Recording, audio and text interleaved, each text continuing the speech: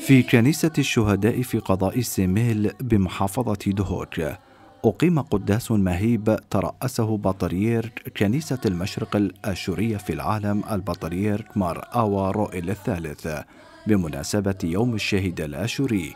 وتخلل القداس الصلوات الخاصة والترانيم التي تعبر عن الحزن والأمل معا. مذبحة سميل هي أول مذبحة حدثت في تاريخ العراق الحديث بعد تأسيسه كدولة معاصرة. وهي اللي فتحت الباب. هي فتحت الباب أمام المذابح الأخرى اللي حدثت في الأنفال في حلبجة في آه، الأهوار في الانتفاضة. المعالجة ليست بإعادة الحياة لمن فقد حياته ليرحمهم الرب هم في في أبرار شهداء أبرار.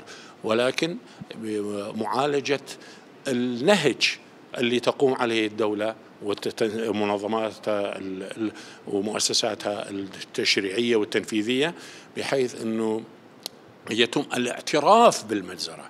الاعتراف بالمذبحة ومعالجة أسبابها دراسة أسبابها لكي لا تتكرر.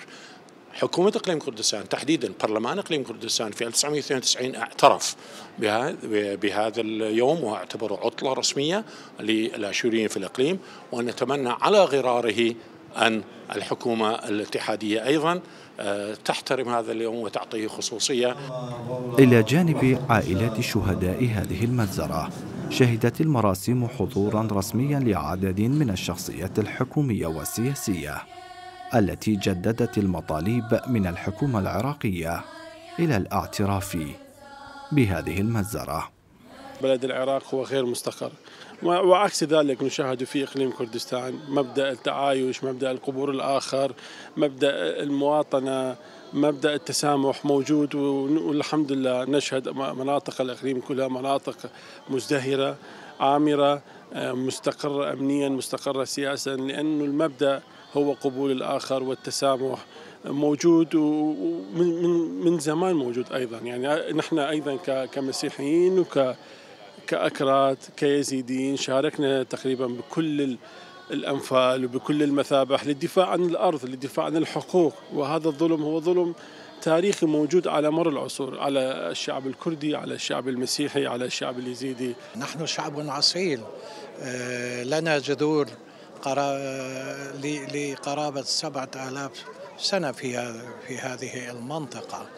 آه، ولكن كنا مخلصين لبناء الدولة العراقية منذ تأسيسها ومنذ نشأتها ولكن هكذا جازونا هكذا كان جواب من حكموا أو من من حكموا الدولة العراقية مرورا بالزمن الملكي ووصولا إلى الطاغية صدام حسين وحتى بعد تحرير العراق من الدكتاتورية.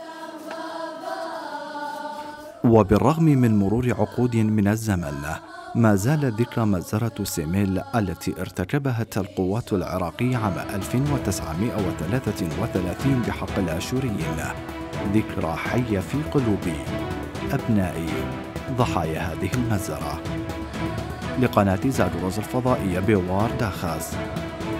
دهور